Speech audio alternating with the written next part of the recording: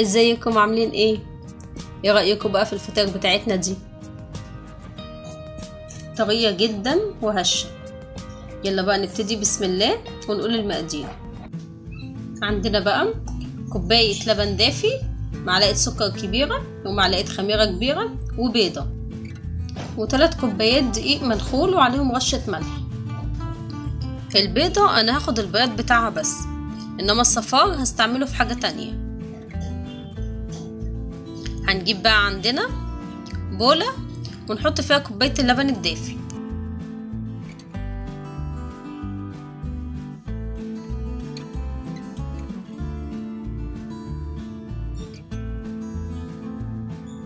حط بقى السكر والخميرة. هدوبهم كويس.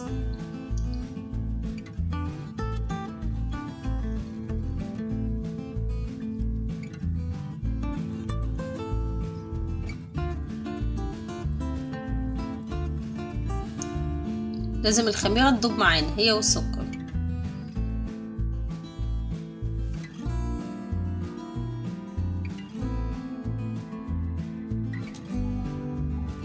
هضيف بقى من الدقيق بتاعنا معلقتين كبار. ده عشان اسرع عملية التخمير. هخلطهم بقى كويس جدا.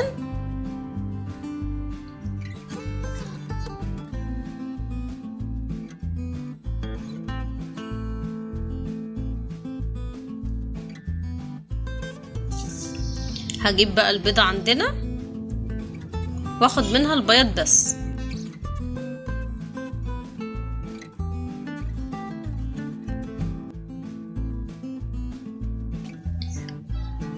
هخلطهم كويس جدا.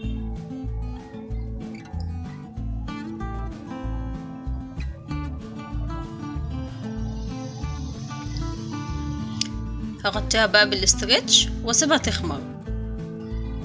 هسيبها من خمس لعشر دقايق.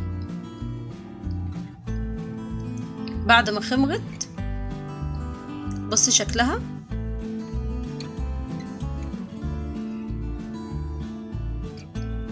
هشيل بقى الاسترتش بتاعنا.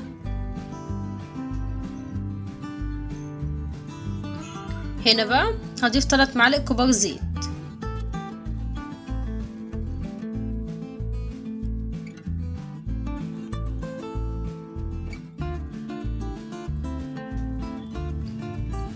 هخلطهم بقى.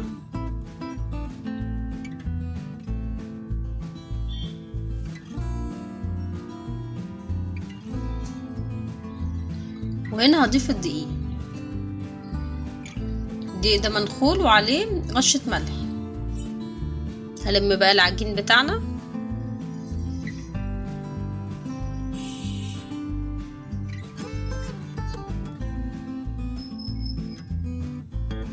هو هياخد عجن عشر دقايق.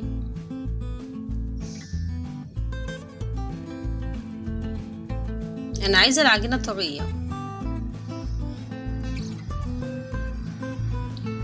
بس بعد ما لميتها أنا عايزاها طريه بصي الإيد التانية النضيفة ما فيهاش أي حاجة. كده بتلزقش. ده القوام اللي إحنا عايزينه. لازم تتعجن عشر دقايق.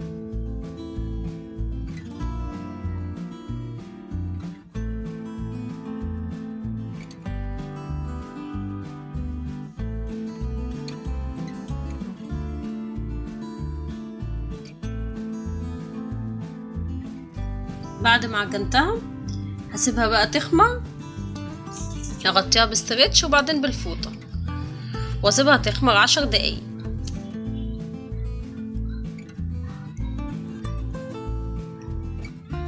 نشوفها بقى بعد ما خمرت. ده شكلها. ما شاء الله خمرت كويس جدا. بس شكلها.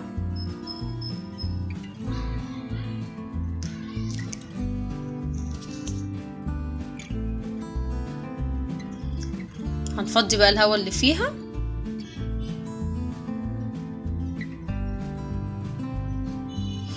ونجيب بقى دقيق ونرشه على الرخام. ونحط العجينة بتاعتنا. ونبتدي نفردها بقى على شكل مستطيل.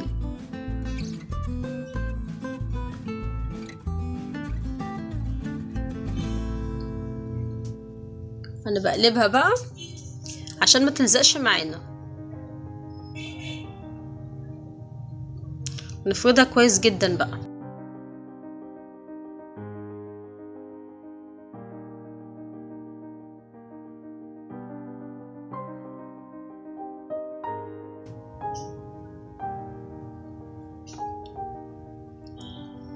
هتأكد برضو إن الأطراف اتفردت كويس. هجيب بقى تلات معالق زبدة. وأدهنها كويس بقى.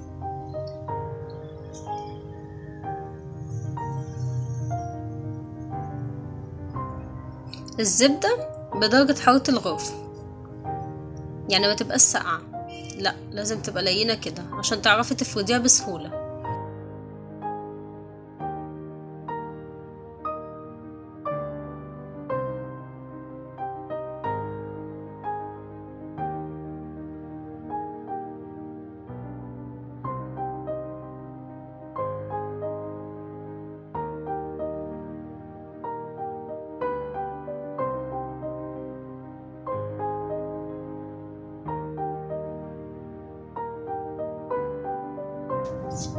بعد ما فردتها بقى كويس جدا هاجي هتنيها معايا بقى وتبقى بالحجم ده.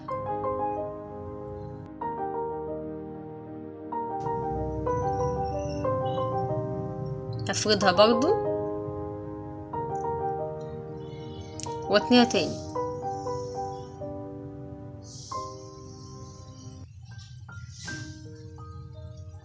بصي شكلها. هاتني لغاية ما العجينة تخلص معايا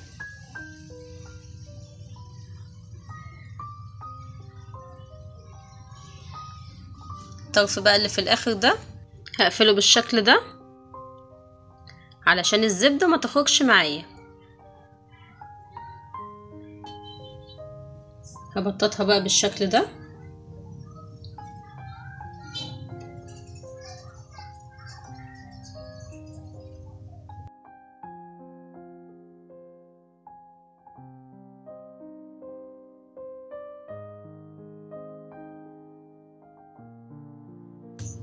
بعد ما فردتها بإيدي كده هنقطعها بقى الحجم ده.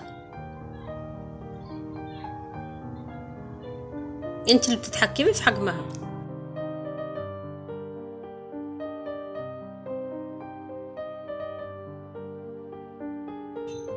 بصي الطبقات معايا شكلها إيه؟ هاخد بقى واحدة. بصي شكل الطبقات فيها. هفردها بقى على شكل مستطيل. واحشيها بالحشو اللي انت عايزاه. أنا عندي هنا جبنة ومقطعة عليها زيتون. وده بحشوة الشوكولاتة. أنا عملتها معاكم قبل كده وهسيب لكم اللينك في صندوق الوصف. ودي مربى فراولة. هاخد بقى من الجبنة بتاعتنا وأحطها في النص. الكمية اللي انت عايزاها. يعني في ايديك تقللي وتزودي. واقفلها كده. لازم اقفلها كويس عشان الحشوة ما تخرجش منها.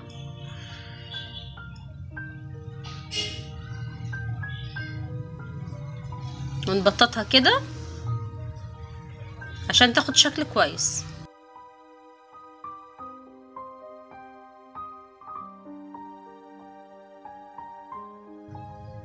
بصي شكلها. هنجيب قطعة من العجين برضو تانية. بصي الطبقات ونفردها برضو على شكل مستطيل.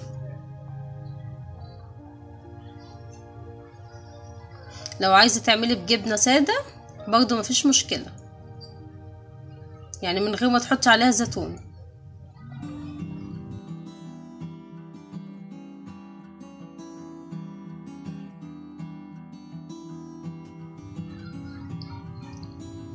هنقفلها بقى بالشكل ده.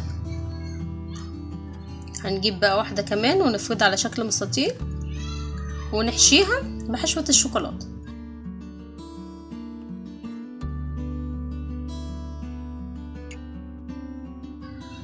هسيب لك اللينك بتاع الشوكولاتة دي. إحنا عملناها مع بعض قبل كده. هسيبه في صندوق الوصف. هفردها بقى كويس.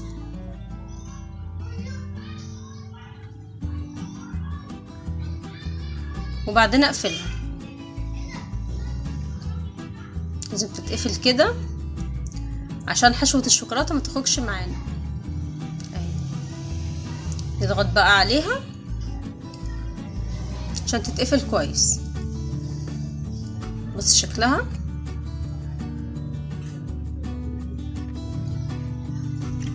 هنجيب برضو قطعة من العجين اللي إحنا مقطعينهم. ونفردها على شكل مستطيل. دي بقى هحشيها بحشوة مربى الفراولة.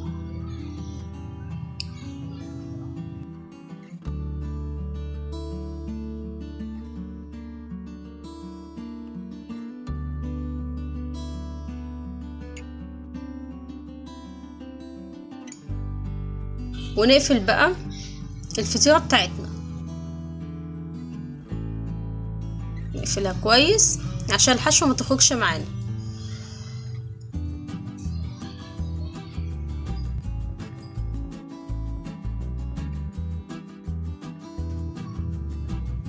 شوفي شكلها.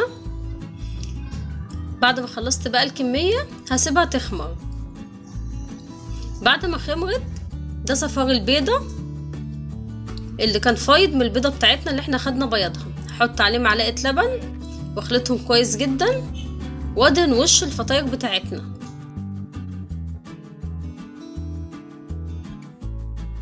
هجيب بقى فرشة وادهن وش الفطاير بتاعتنا.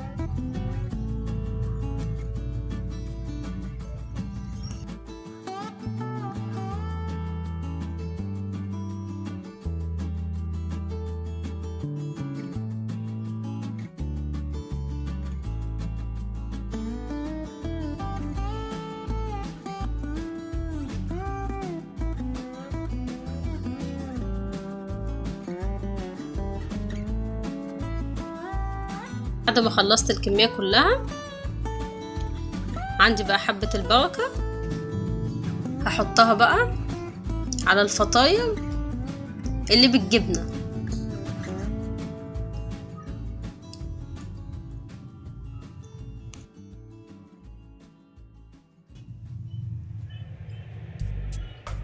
هجيب بقى كريز واحطه على أنا مربى وشوكولاتة.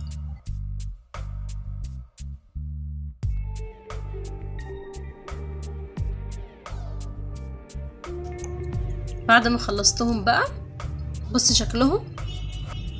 هحطهم بقى في الفرن على درجة حرارة 200 وهيدي الشواية عليهم في الآخر خالص. إيه رأيكم بقى؟ عايزة أقولك خفيفة وهشة وطرية جدا. بصي طرية ومستوية من تحت جدا. بصي شكلها. طرية جدا. يا ريت بقى لو عجبكم الفيديو like و subscribe وتفعيل الجرس.